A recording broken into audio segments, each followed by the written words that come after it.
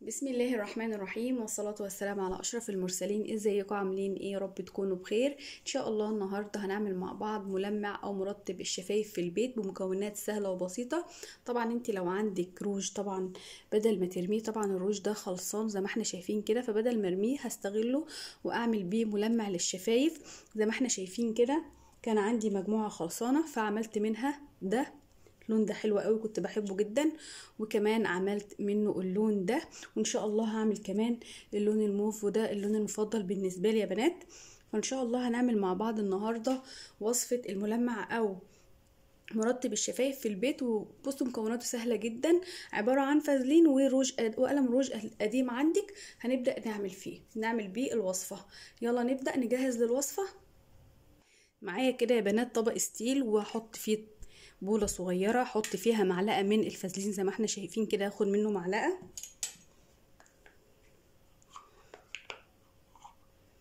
معلقة كده من الفازلين. هبدأ انزلها في البولة. يكون عندي مية مغلية كده هحطها. طبق عشان تسيح لي.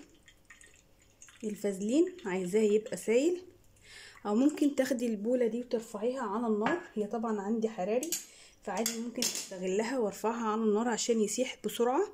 ولو انت عندك ميكرويف ممكن تحطيها في الميكرويف بتاعك في دي مش هيكمل ثواني إن شاء الله وهتكون دي ساحت معاكي. طبعا أنا هسيبها كده لحد ما تسيح لوحدها ولو عزلجت معايا ممكن أحطها على النار. طيب تاني حاجة بقى معايا إيه يا بنات؟ طبعا الروج ده. زي ما إحنا شايفين كده هبدأ بسكينة كده وهطلع الحتة دي كده. طبعا أنا مش مش محتاجاها في حاجة مش هستخدمها. زي ما إحنا شايفين كده يا بنات وعندي معلقة هقوم حطاها كده. وطبعا هاخدها أرفعها على النار عقبال لما الفازلين يسيح معايا. أول ما تحطيها على النار مش هتكمل معاكي دقيقة يعني في ثواني هتكون ساحت زي ما هوريلكوا شكلها دلوقتي. خلاص يا بنات ده الفازلين بتاعي. خلاص صح زي ما إحنا شايفين كده.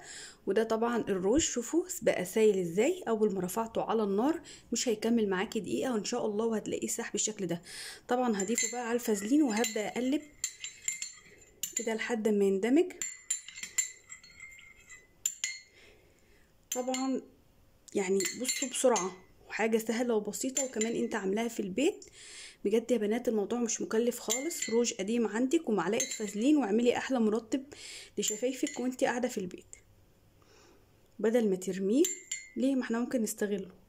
هسيبه يهدى شوية وبعد كده هأعبيه هنا عندي العلبة دي. زي ما إحنا شايفين كده يا بنات ممكن تشتريها. دي طبعا ولادي كانوا جايبين فيها شوكولاتة فأنا إيه هستغلها في الموضوع ده.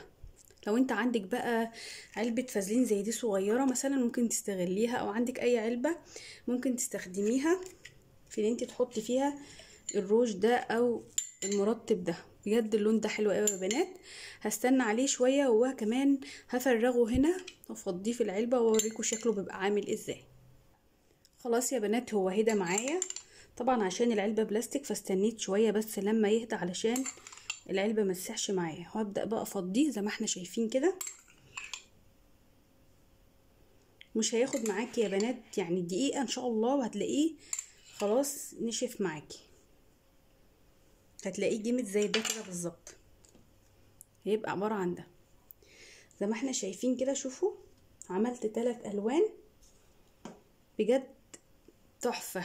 وإن شاء الله هعمل غيرهم. كل ما في روج عندي يخلص ان شاء الله هعمل زي ما أنا بعمل كده. أنا بستخدمهم. بجد تحفة تحفة.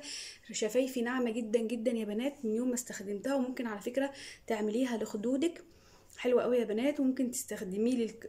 للكع... للكعوب. حلو برضو بيدي لون حلو. بتمنى طبعا إن أنتوا تستفيدوا من من الفيديو دي أو من الفيديو ده أو من التجربة بتاعتي وتعملوه وتجربوه إن شاء الله أشوفكم على خير في وصفة جديدة. والسلام عليكم ورحمة الله وبركاته.